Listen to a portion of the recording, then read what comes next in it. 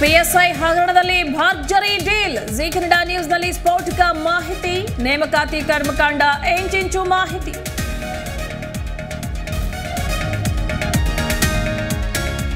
ಖಾಕಿ ನೇಮಕಾತಿ ಹಿಂದೆ ಮತ್ತೊಂದು ಕರಾಳ ಸತ್ಯ. ಲಕ್ಷ ಲಕ್ಷ ಡೇಲ್, ನೂರಾರು ಮಾತುಕತೆ. ಅಭ್ಯರ್ಥಿ ವಾಟ್ಸಪ್ ಚಾಟಿಂಗ್ ಬಿಚ್ಚಿಟ್ಟ ಅಸಲಿ ಕಹಾನಿ.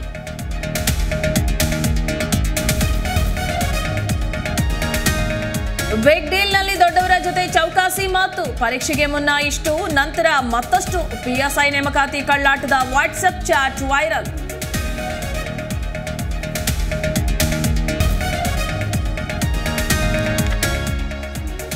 ಎರಡ್ ಸಾವಿರದ ಹದಿನೆಂಟರ ಪ್ರವಾಹ ಮರುಕಳಿಸುವ ಭೀತಿಯಲ್ಲಿ ಕರುನಾಡು. ಕರಾವಳಿ ಭಾಗದಲ್ಲಿ ನಿಲ್ಲದ ವರ್ಣನಾರ್ಭಟ. ಇನ್ನು ಐದು ದಿನ ಶಾಲಾ ಕಾಲೇಜುಗಳಿಗೆ ರಾಜ್ಯ ವಿಸ್ತರಣೆ.